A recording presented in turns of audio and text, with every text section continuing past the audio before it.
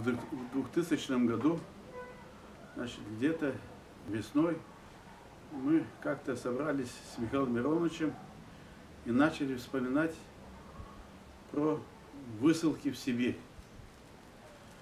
Его семья тоже была вся выслана, и дедушка, и бабушка, и тети, и дяди, и наши тоже, и мы вспоминали, сидели часа четыре и вспоминали.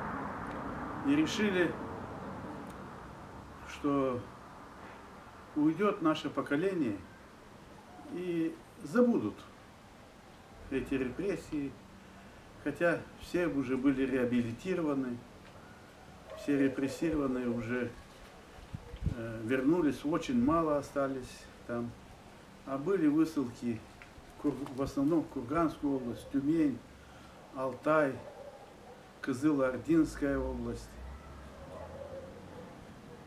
И мы решили собирать своих сподвижников. Собралось нас человек, наверное, 10-12. Маринов Андрей Дмитриевич, тетя Саша же женщина была, Момот, э, тетя Лена была. Вот. э, Баркар Стефанида была. И вот так общаясь между собой, общаясь, мы решили все-таки что-то, какую-то память оставить, чтобы об этом помнили люди. Потому что если никто ничего не пишет, никто ничего не снимает, то все это забывается. И мы решили для начала поставить камень где-то, память, камень о безвинно убиенных. А убили очень много народу, начиная с 40 года репрессировали, их почти всех убили. В 41 году всех убили. В 49 уже забрали семьи, семьями, и тоже многие остались там. И мы решили как бы собраться. Объявление дали в газету, что вот собираемся, хотим отметить этот день. И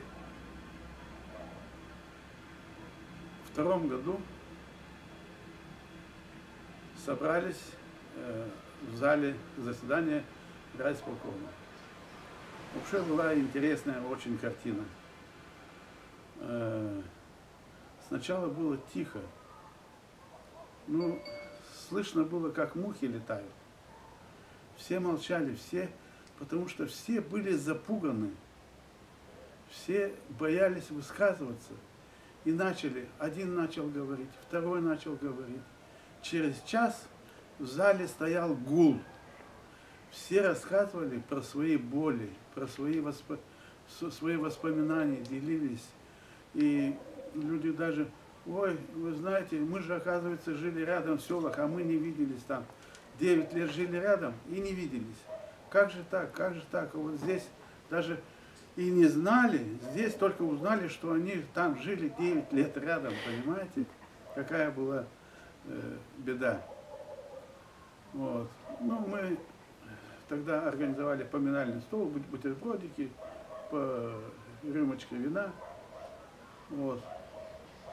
И решили организовать свою организацию. Называли ее Дорлу. Избрали совет из пяти человек. Вот. И решили, что мы пойдем дальше. Вот. В первую очередь нам надо было поставить, мы уже было поста- поставили камень. Но мы хотели уже делать памятник. Там э, занимались, эскизы делали, одни, вторые, третьи. И Михаил Миронович сделал эскиз, который сейчас там стоит памятник, значит, э, железная дорога и э, опутанная колючей проволокой. Путь в никуда называется.